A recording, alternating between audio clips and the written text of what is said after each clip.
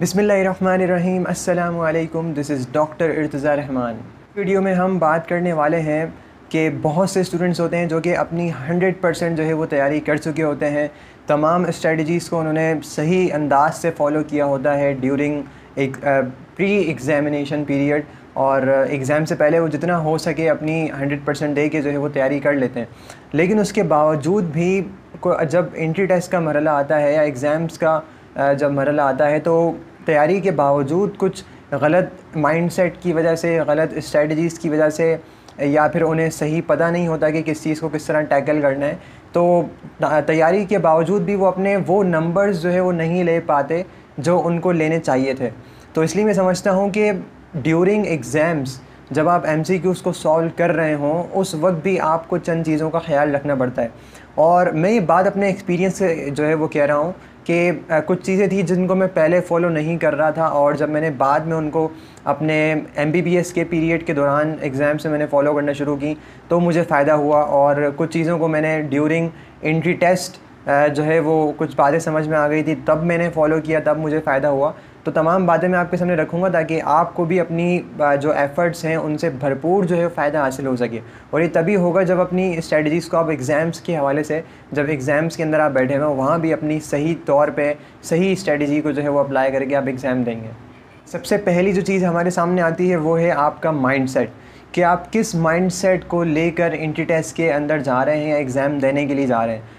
कोई भी एग्ज़ाम हो मैटर जो है सबसे पहले आपका माइंड सेट करता है कि आपका माइंड सेट क्या है। अब आपका माइंड सेट क्या होना चाहिए? एग्ज़ाम्स के हवाले से जब आप एग्ज़ाम देने जा रहे हो या एग्ज़ाम के अंदर आप बैठ चुके हों पेपर आपके हाथ में आने वाला हो तो पहली बात तो आपके जहन में ये होनी चाहिए कि I have to mark right option only A B C D E में से जो राइट right ऑप्शन है, मुझे सिर्फ़ उसी को मार्क करना है। इसके अलावा मुझे किसी ऑप्शन को मार्क नहीं करना। अब मुमकिन है बहुत से सवाल ऐसे भी होंगे जिनको आपको पता ही नहीं होगा कि ये सवाल कहाँ से आया है, किस चैप्टर से आया है, किस टॉपिक से आया है, या उसके आंसर का आपको नहीं पता चल रहा होगा। यकीन ऐसे बहुत से सवाल होंगे। लेकिन मैंने ये देखा है कि अगर आप इस माइंडसेट को साथ लेकर अपने जाएँगे कि I have to mark the right option only तो आपके बहुत से सवाल इवन जो आपको नहीं भी आते होंगे, वो आपके सही हो सकते हैं। मैं नहीं कह रहा कि सारे ही आप हंड्रेड आउट ऑफ़ हंड्रेड या two hundred out of two hundred जो है वो सही करके आ जाएँगे ऐसा मैं बिल्कुल नहीं कह रहा। इस माइंडसेट से आपको सिर्फ़ इतना फ़ायदा होता है कि काफ़ी ऐसे सवाल जो आप गलत कर रहे होते हैं क्योंकि आपके जहन में सिर्फ़ सही ऑप्शन के आ, सही ऑप्शन टिक करने के हवाले से आपके जहन में होता है कि मुझे सिर्फ़ सही ऑप्शन पर टिक करना है। तो साइकोलॉजी ये कहती है कि अगर आप ये माइंडसेट को लेकर एग्ज़ाम्स के अंदर जाते हैं तो काफ़ी सवाल आपके जो है गलत होने वाले सही हो जाते हैं। फिर आप जब क्वेश्चन कर रहे होते हैं तो उस वक्त आपके जहन में यही होता है कि मुझे सिर्फ़ सही ऑप्शन पर टिक करना है तो आप जो है वो जल्दबाजी में कोई गलत ऑप्शन पर टिक नहीं करते, बल्कि आप उसको अच्छी तरह से सोचते हैं। क्योंकि हर सवाल को मैं मैं ये कह रहा हूँ कि हर सवाल सॉल्व करने से पहले आपके जहन में ये आना चाहिए कि I have to mark the right option only तो पहला तो माइंड सेट आपका ये होना चाहिए। देन सेकेंड जो माइंड सेट के हवाले से इंपॉर्टेंट बात है वो ये है कि your confidence level must be high confidence level अगर आपका हाई नहीं है और आप डरते डरते, घबराते घबराते सांस आपकी फूल रही है और एनजाइटी आपको हो रही है टेंशन आपको हो रही है स्ट्रेस आपको हो रहा है तो आप बहुत से सवाल जो है वो आते हुए गलत कर बैठेंगे। तो इसलिए उस वक्त आपका कॉन्फिडेंस लेवल बहुत ज़्यादा हाई होना चाहिए। अब मुमकिन है कुछ सोच रहे होंगे कि हमने तो इतनी अच्छी तैयारी नहीं की, अब हमारा कॉन्फिडेंस लेवल कैसे जो है वो हाई हो? भाई, भले आपकी तैयारी अच्छी नहीं है ठीक है ना? इससे कोई सरोकार नहीं है कॉन्फिडेंस लेवल का कि आपकी तैयारी अच्छी है या आपकी तैयारी बुरी है, आपने कितने घंटे पढ़ा है। सिर्फ़ उस वक्त मैं बात कर रहा हूँ कि भले आपने रोज़ाना दो घंटे ही क्यों ना पढ़ा हो एक घंटा ही क्यों ना पढ़ा हो आपका उस वक्त कॉन्फिडेंस लेवल बहुत ज़्यादा हाई होना चाहिए कि भाई मुझे सब पता है। I know each and every answer जी हाँ कोई भी एग्ज़ाम आप दे रहे हो, आपका ये माइंड सेट होना चाहिए कि मुझे सारे सवाल के जवाब मुझे आते हैं। इससे भी साइकोलॉजी जब ये आप अपनाएँगे तो इससे अगेन आपको फ़ायदा ये होगा कि बहुत से आपके सवाल जो गलत होने वाले होंगे, वो सही हो जाएँगे। और आप स्ट्रेस के अंदर नहीं जाएँगे, आप डिप्रेशन में नहीं जाएँगे, आप टेंशन में नहीं जाएँगे। आप जो वहाँ पे डिस्ट्रैक्शंस होती हैं, उनकी तरफ़ आपका ख्याल नहीं जाएगा, क्योंकि आपको अपने आप पे बिलीव होगा, अपने आप पे कॉन्फिडेंस होगा कि मैं सारे सवाल जो है वो सही कर सकता हूँ। तो ये दो बातें जो है वो माइंडसेट के वाले से बड़ी इंपॉर्टेंट है जिनका आपको ख्याल रखना है।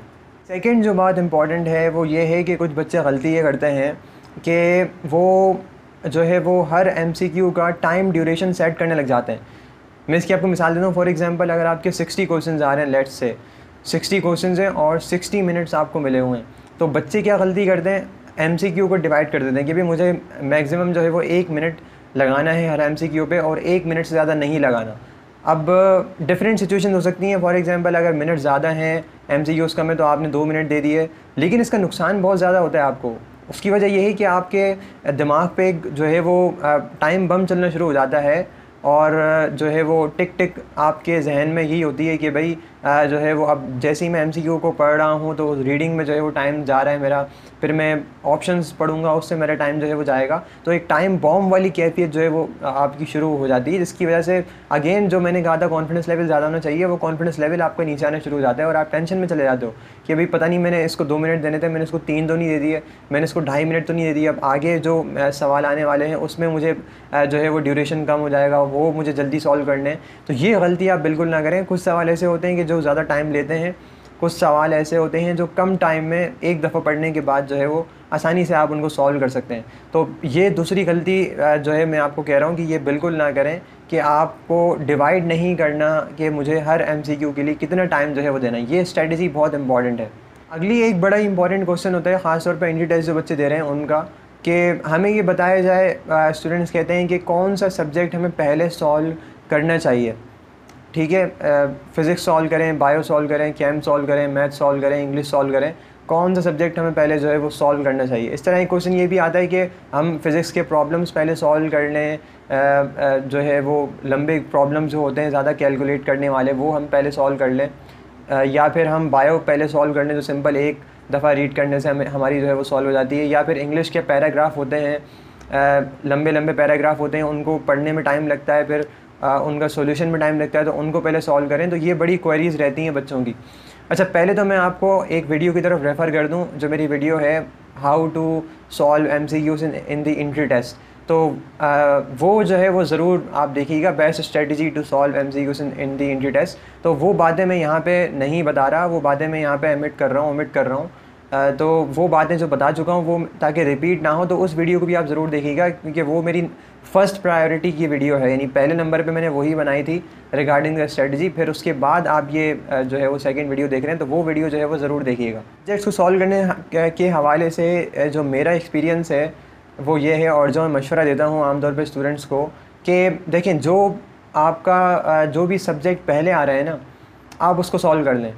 ठीक है, जो जो यानी पेपर के अंदर जो प्रायोरिटी जिसको दी हुई है, पहले अगर इंग्लिश आ रहा है तो आप पहले इंग्लिश सॉल्व करें फिज़िक्स आ रहा है तो पहले फ़िज़िक्स सॉल्व कर लें मोस्टली इंग्लिश ही होता है तो आप पहले इंग्लिश सॉल्व करें, फिर उसके बाद जो सब्जेक्ट है वो सॉल्व करें। इससे अगेन फ़ायदा आपको ये होगा कि आपको ये टेंशन नहीं होगी कि मैंने कितना टाइम जो है वो किस एम सी उसको दिया है। एक तरह से टाइम फ्री हो जाओगे, जो इस तरह मैंने जो सेकेंड आपको मशवरा दिया था कि डिवाइड नहीं करना आपको टाइम को तो इस टेंशन से आप आज़ाद हो जाओगे कि आप बस जो आपको सामने क्वेश्चन मिलते जा रहे हैं, वो आप जो है अपने क्वेश्चन जो है वो सॉल्व करते जा रहे हैं। तो आप, आपको यही करना है कि जो पहले जो सब्जेक्ट आ रहे हैं, आप सिंपल जो है उसको सॉल्व कर लें ताकि आप बिल्कुल फ्री होकर अपना सॉल्व करें। क्योंकि आपको, आपका माइंड सेट तो यही है कि मुझे सारे सवाल आते हैं प्रॉब्लम्स भी आती हैं, मुझे सारे सवाल आते हैं। तो जब आपको आते हैं कॉन्फिडेंस लेवल आपका हाई है तो आपको पहले आसान या पहले मुश्किल की तरफ़ जाने की ज़रूरत नहीं है। और स्ट्रेटजी आपको अगेन एम को सॉल्व करने के लिए वही अप्लाई करनी है, जो मैंने अपनी पहली वीडियो में बताई है। अगेन आखिरी जो मेरा मशवरा है आप लोगों को जो बड़ा ही इंपॉर्टेंट है अपने कॉन्फिडेंस लेवल को हाई करने के लिए और टेंशन और स्ट्रेस को कम से कम करने के लिए बहुत सारी बातें लेकिन ये बात बड़ी इंपॉर्टेंट है कि आप अपने एग्ज़ाम से पहले किसी से डिस्कस ना करें, अपने फ्रेंड्स से स्पेशली अपने टॉपिक्स को, अपने सब्जेक्ट्स को डिस्कस ना करें, यार, तुमने ये पढ़ा था, तुमने ये क्यों नहीं पढ़ा? और इसका आंसर क्या होगा? यार, वो सवाल में सॉल्व करा था, वो मुझे सॉल्व नहीं हुआ। आपका, ये आप समझ लें कि आपके लिए डिज़ास्टर साबित होगा ड्यूरिंग द एग्ज़ाम देखें, हर ये बात कही जाती है, अच्छी चीज़ों को जो आपके लिए फ़ायदेमंद हैं, जो आपके लिए कामयाबी के ज़रिए बनती हैं, उनको अडॉप्ट करना ज़्यादा मुश्किल होता है। एज़ कंपेयर टू वो चीज़ें जो आपके लिए नुकसानदेह हैं, उनको अडॉप्ट करना ज़िंदगी में बड़ा ही आसान होता है। तो मुश्किल चीज़ों को करना यानी कि उन चीज़ों को अपनाना जो आपके लिए फ़ायदेमंद हैं, वो मुश्किल है आप लोगों के लिए। तो देखिए, अब हर बंदा चाहता है कि मैं एग्ज़ाम से पहले डिस्कस कर लूँ किसी ना किसी से, अपनी क्वारीज़ जो है वो ख़त्म कर लूँ, कोई क्वेश्चन मेरे जहन में तो वो पूछ लूँ। ये लगता तो बड़ा आसान है और जो है वो बड़ा आपको अच्छा लगेगा कि भाई मैं जो है वो अपनी क्वारीज़ जो है वो अपनी सारी क्लियर कर रहा हूँ, जो मैंने टॉपिक्स नहीं पढ़े। या कि सामने वाले ने पढ़े होंगे वो मुझे पता लग जाएँगे। तो ये लगता तो बड़ा आसान है लेकिन ये आपके लिए बहुत डिज़ास्टर साबित हो सकता है। कोई भी अच्छा टीचर ऐसा नहीं होगा जो इसकी आपको परमिशन दे कि आप एग्ज़ाम से पहले जो है वो किसी से डिस्कस करें। और यही काम मैंने किया था। आ, अपने टीचर्स की गाइडेंस को फॉलो किया कि मैंने अपने इंट्री टेस्ट से पहले जो है वो मैंने किसी से डिस्कस नहीं किया। मैं अकेला गया वहाँ पर और कोई मेरे साथ मोबाइल नहीं था कुछ भी नहीं था। और ना ही मेरे साथ उस वक्त कोई फ्रेंड्स मेरे साथ थे। जो है वो, क्योंकि मेरा पूरा हंड्रेड परसेंट इंटेंशन ये थी कि मुझे कुछ भी हो जाए, किसी से मिलना नहीं है, किसी से अगर मिल लूँ तो किसी से डिस्कस नहीं करना।